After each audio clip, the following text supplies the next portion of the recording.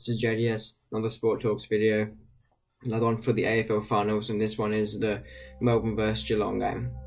This game was a very close game. Well, I can't. Oh, you can sort of say it was a close game. It was close early on, and then into second half, but it's almost seemed like Geelong. Almost like they were really nervous they were duffing, they were stuffing kicks. I can't speak. They were stuffing up kicks. They were making poor decisions. Only really the good players that were stick that were they were playing well, I guess. They like Ablett, Selwood, not even Dangerfield didn't play well, but Blicavs, McDonald, um, that's what I can think of. But they they all did well, and as a result, without any other players really to do anything, they didn't get anywhere in the game, and they lost miserably in the end. Really, it was 75 to 46 in the end, and if you watch the first quarter only, you would think Melbourne would win. Melbourne, you would think Geelong would have won but they lost to Melbourne, as I said, 75 to 46.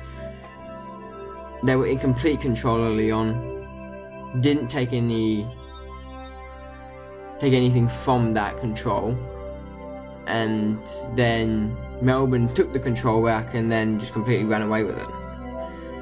But there was a lot of injuries in the game.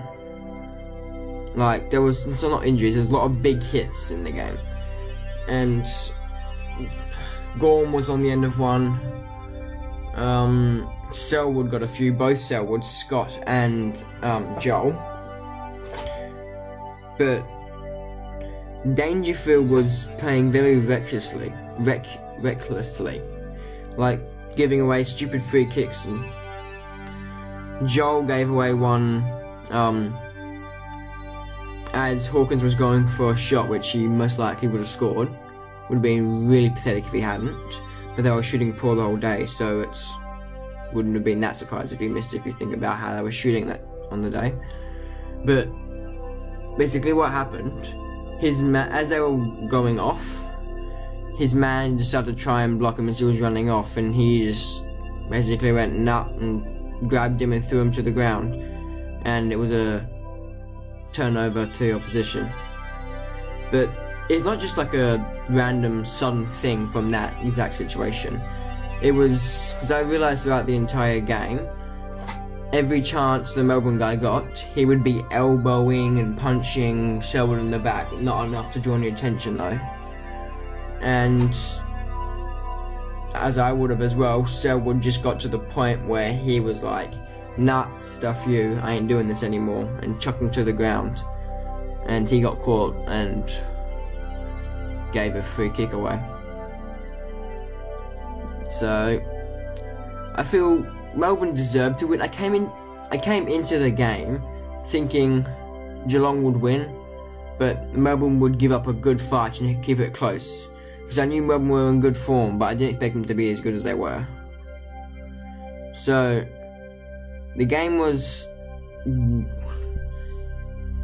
It started how I expected, with Geelong in control. But then, something happened. I don't know what it was. I think it was. Maybe it was the fact that Geelong had complete control for the first quarter and did absolutely nothing with it. And then, like, they scored two points in that first quarter, I think. Not first quarter, in most, in like 10 minutes of con- total control of the play. And then Melbourne went down the other end, won inside 50, got the mark, went back, took a shot, and scored. But that was it. They didn't really. It was very poor. Um, Geelong were very poor at kicking the ball into the 50 to a man. It was always to the. It was not always. Normally to the disadvantage of someone. But I feel they were pretty good through the midfield until Dangerfield got it really today. He was He was that poor. He wasn't really good at all. But if I had to pick man of the match, which I do every game, so I'll do it again now. Um, Lewis was pretty good for Melbourne. So was Gawn. So was both Selwoods for Geelong. Blicavs was good. The guy that was on Joel Selwood was good. But I have to give it to Ablett because he was just amazing all game. So cool, so calm. Basically, just the Ablett we've known for a decade. I've known to watch my whole life, basically.